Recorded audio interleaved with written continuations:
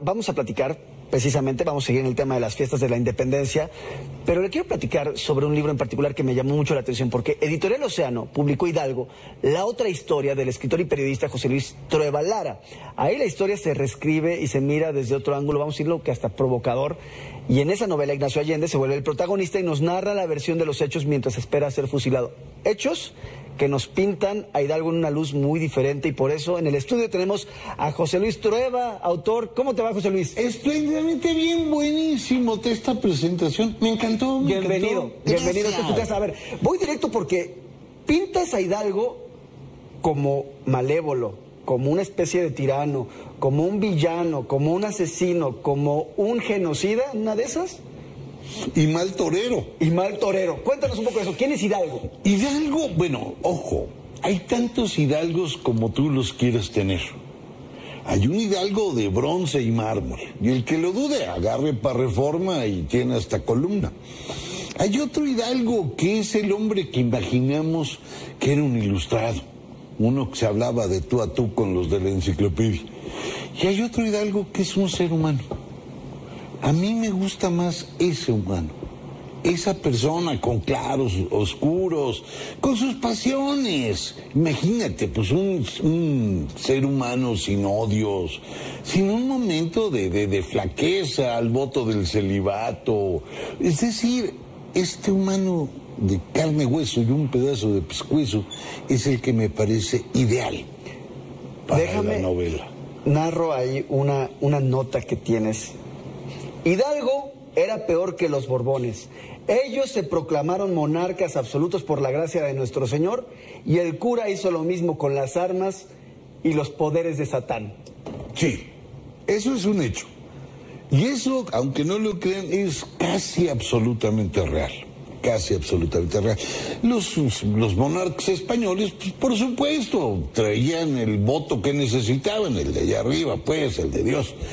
Pero Hidalgo toda la gente en su época, ojo, los que están a favor y los que están en contra de la independencia, sus cercanos y sus lejanos lo miran como un peligro, como un horror.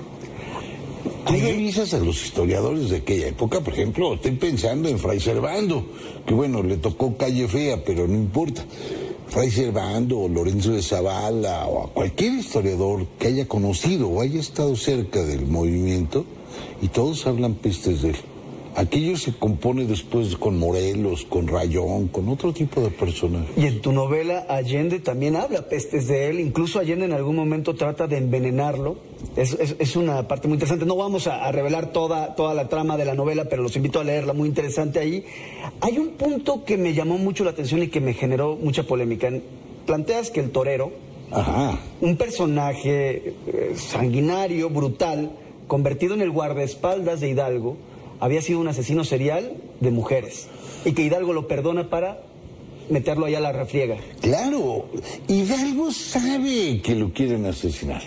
No solo lo quieren asesinar los realistas, que vaya que tienen buenas razones para hacerlo, sabe que adentro de su ejército Allende lo quiere asesinar. Y para los toros de Jaral, pues un caballo de allá mismo. Entonces se consigue al torero, que es un personaje absolutamente real.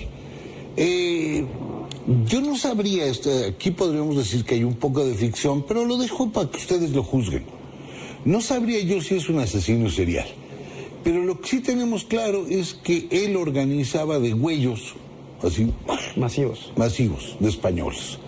Organizaba corridas de toros con españoles y les ponía banderillas y los clavaba, no sé, con el, con la, el sable este que usan los toreros que ha de tener un hombre.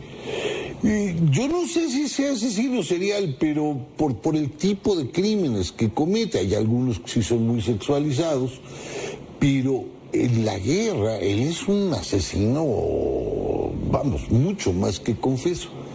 Y hasta donde yo pude averiguar, desaparece.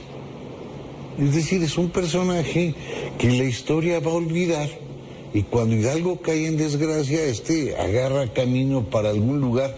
No me vayas a preguntar qué hizo después, pero solo pensarlo te da terror. Para cerrar te preguntaría, y mencionabas tú al principio de, la entrevista, ¿no? Que hay varios hidalgos, está el hidalgo de bronce o de mármol que es impoluto, que incluso el actual gobierno ha desempolvado para, sacarlo y ponerlo ahí al frente otra vez en la historia oficial. Está el hidalgo revisado y está el hidalgo humano. ¿Por qué decidiste de construir así a Hidalgo y luego reconstruirlo como un hombre lleno de fallas y que incluso, y, cierro con esta frase, la diferencia, lo que te decía, la diferencia entre los héroes y los villanos parece ser que primero se mueren los héroes. Exacto. Y en este caso me lo pintas así. Exacto. Hidalgo tiene la fortuna de morir muy rápido.